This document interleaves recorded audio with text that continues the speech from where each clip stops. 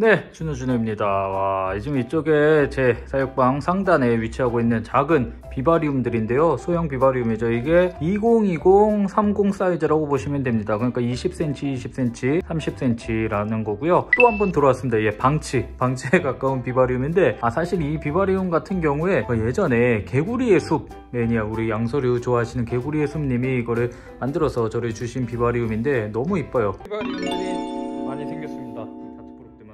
이 비바리움에 제가 거의 한 1년 정도 이런 식으로 그냥 뒀거든요. 물만 주고 방치를 했습니다. 이 안에 어떻게 지금 이 비바리움이 변해 있는지 어, 여러분들도 이렇게 제 방치 콘텐츠 좋아하시길래 이번에는 좀 비바리움 방치편으로 준비를 해봤습니다. 지금 화면 속의 어항은 일명 무환수 어항이라고 하는데요. 전기 여과기와 잦은 물갈이가 필요 없는 친환경 어항입니다. 유튜버 원스팜님께서 개발하셔서 제품화한 상품인데요 수초와 미생물을 활용해서 스스로 자연정화된다고 합니다. 제 지인도 이 제품으로 물생활을 하고 있는데 적극 추천하더라고요. 자세히 알고 싶은 분들은 네이버에 테이블 펫을 검색해주세요. 한번 이쪽부터 보도록 할게요. 짠. 와. 이게 사실 스트리밍이라고 주기적으로 이 풀들을 좀 관리를 해줘야 되는데 건드리지 않았더니 완전히 안이 지금 풀바다가 됐습니다. 물바다가 아니라 풀바다가 됐어요. 풀들이 너무 자리를 잘 잡았고요. 이 식물도 근데 보면은 나름 또 잎사귀가 조그맣고 귀엽잖아요. 모양도 있고. 이게 이제 매니아들한테는 조금 핫한 그런 식물인데 제주 애기모람이라는 식물이에요. 그러니까 이게 제주도 자생종이라 그러고 제주도 지역에만 나온다 그러더라고요. 이 잎사귀가 모양도 이쁘고 크지 않기 때문에 이렇게 많은 분들이 벽면에 후면이나 뭐 이렇게 바닥면에다가 이렇게 까는 용으로 많이 이용을 합니다. 이 제주 애기 모람이 막상 키워보시면은 이렇게 생각보다 잘 퍼지지는 않거든요. 근데 여기서는 굉장히 좀 많이 자랐잖아요. 그래서 환경이 좋다는 뜻입니다. 제가 키워보니까 습도가 중요한 것 같아요. 흥중 습도가 좀 충분히 있고 빛이 잘 쬐지면은 충분히 이렇게 빠른 속도로 성장을 하는 것 같고요. 사실 이 비바리움도 아예 트리밍을 안 한 건 아니고 솔직히 이거는 약간 돈이 되거든요 그래갖고 이거 이제 필요로 하시는 분들이 있거나 아니면 이제 소량으로 판매할 때 예, 여기서 필요한 만큼 떼가지고 사용을 했었습니다. 근데도 이제 최근에는 거의 안 건드렸기 때문에 지금 너무 많이 좀 자라 있는 상태고 이게 제가 이제 공중 습도가 중요하다 그랬는데 이 비밀이 하나 있다면 위가 이렇게 뚜껑을 보시면은 뚜껑에 사이즈 이렇게 맞게 아크릴로 이분이 이렇게 뚜껑을 만드셨어요. 그래갖고 원래는 철망이라 환기를 위해서 동물을 키울 때는 환기가 중요하기 때문에 환기가 잘 되어서 이렇게 철망이고 공기가 위로 다 빠져나가야 되는데 이걸 이용해서 딱 사이즈가 딱 맞죠? 이렇게 아예 밀폐를 시켜버리니까 공중 습도가 이 안에서 높아지는 거죠. 습도가 높으니까 식물이 더욱더 빠르게 자리를 잡은 모습을 볼 수 있습니다. 아, 모든 식물이 그런 게 아니고 이런 좀 정글 식물류들 정글 플랜트 종류들은 높은 습도를 높은 공중 습도를 요하는 종들이 많거든요. 이제 여러분들이 그런 거 좀 잘 파악을 하셔서 세팅을 하셔야 되고요. 지금 보면은 이런 식으로 이제 조명을 어, 세팅을 해가지고 쬐주고 있는데 이 조명도 사실 식물등이에요. 어, 저 조명이 생각보다 수명도 오래가고 좋더라고요. 저 뭐냐면은 그 엑소테라 제품이거든요. 식물등으로 엑소테라에서 나오는 등인데 사이즈가 되게 조그매요. 이 정도 되는 작은 사이즈인데 어, 광량이 굉장히 또 세고 수명이 굉장히 오래 갑니다. 거의 뭐 지금 한 번도 교체 안 하고 1년째 사용을 하고 있는 것 같고요. 딱 지금 이 환경이 얘네한테 이제 굉장히 좋은 것 같아요.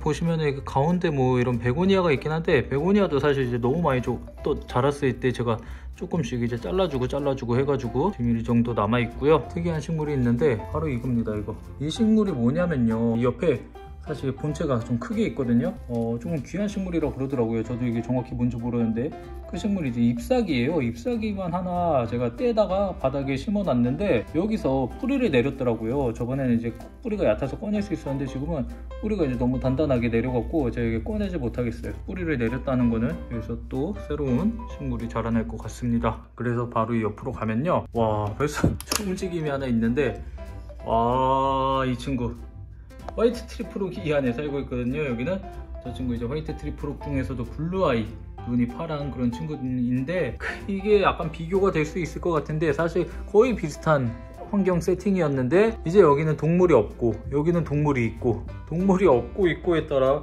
또 vivarium 환경이 이렇게 달라지기도 합니다.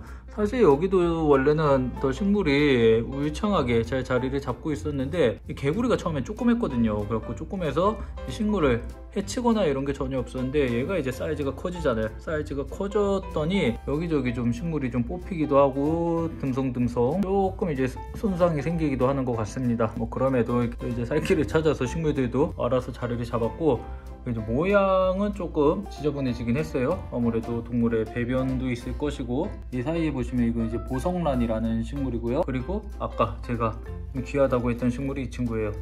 이게 이게 약간 또 자세히 안 보이네. 이 식물이거든요. 이게 야자수처럼 두꺼운 이 줄기를 가지고 있고 그 위에 이렇게 두꺼운 잎들이 아래쪽으로 향하면서 이렇게 자라더라고요. 이 한 장 한 장이 꽤 크거든요. 사이즈가 이 정도예요. 이 정도.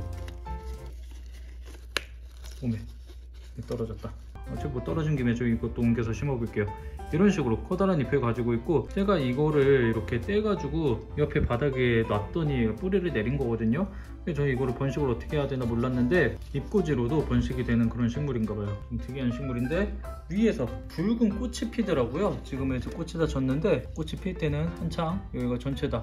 붉은 꽃이 쫙 폈다가 바닥으로 떨어지는 그런 모습을 볼 수 있었습니다. 이렇게 white tree frog 한 마리 잘 살고 있고 이제 사실 vivarium의 묘미인데요. 예전에 제가 이제 vivarium 영상 같은 거 올리면 vivarium 청소를 어떻게 해야 돼요? 뭐 관리 어떻게 해야 돼요? 이렇게 문의가 많았는데 관리라는 게 사실 우리가 뭐 인간의 눈으로 볼때 관상을 위한 관리지 이 vivarium 자체는 특별히 관리할 게 많이 없긴 합니다. 왜냐면요 이 안에서 얘네가 한번 좀 자리를 잘 잡으면은 식물이나 동물들이 자기들끼리 건강하게 잘 살 수 있도록 세팅이 되거든요. 환경만 맞으면 이 안에서 알아서 좀 사이클이 돌아갑니다. 예를 들면은 이제 먹이를 주면 이 개구리가 똥을 싸잖아요. 그럼 이제 똥이나 이런 배설물들을 이 안에 이제 톡톡이라고 작은 톡톡이나 뭐 쥐며느리 같은 분해 생물들이 있어요. 그 아이들이 분변을 먹어치워서 분해를 시키고 유기물이 쌓여갖고 이 식물에 영향이 되는 거죠. 이 환경이 맞으면 그런 식으로 이렇게 전체적으로 어떻게 보면 일종의 생태계가 순환이 되는 그런 이제 구조를 가질 수 있는 거고요. 근데 이제 아까 말씀드린 것처럼 이게 동물이 제가 작을 때는 이 비바리움이 괜찮다 그랬는데 지금 얘가 자라면서